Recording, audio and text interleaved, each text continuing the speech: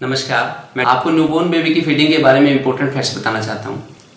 जितना जल्दी बर्थ के बाद संभव हो सके, बच्चे को अपना दूध पिलाना शुरू कर दें।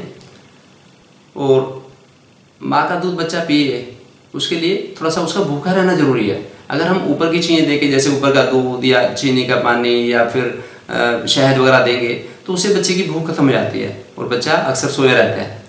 इसलिए ऊपर की चीज़ें ना दें, केवल धैर्य की आवश्यकता है। और अपना ही दूध माँ पिलाए बाकी बच्चे का माँ से स्किन टू स्किन कॉन्टैक्ट रहना चाहिए, इसे कहते हैं कंगारू केयर। इससे बच्चे को ज़्यादा दूध की फीलिंग होती है, वो बच्चा दूध अच्छी तरह ले लेता है।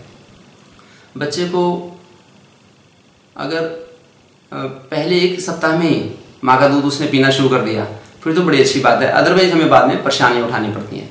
चाहे नॉर्मल डिलीवरी हो या सीज़न डिलीवरी हो, दोनों में ही माँ बड़े धैर्य के साथ अपना दूध पिलाना शुरू कर सकती है और ऊपर के दूध की अक्सर आवश्यकता नहीं पड़ती। अगर हम प्रैक्टिकली देखें तो सभी एनिमल्स बच्चों को अपना दूध पिलाते हैं और उन्हें कभी दिक्कतें नहीं आती और अक्सर उनकी इम्यूनिटी बड़ी स्ट्रांग होती है।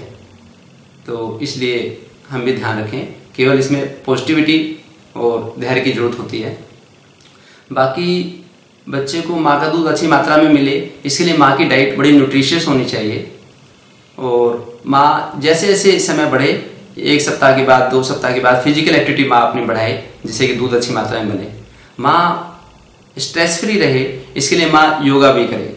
योगा बेसिक योगा प्रैक्टिस जैसे अल्टरनेटिव ब्रीदिंग या अनुलोम विलोम प्राणायाम और मेडिटेशन जैसे ओम चैंटिंग भ्रामरी प्राणायाम, इनकी हेल्प ले। इससे इन योगा करने से माँ के एनाबोलिक हार्मोन्स बढ़ जाते हैं और कैटाबोलिक हार्मोन्स का लेवल कम हो जाता है।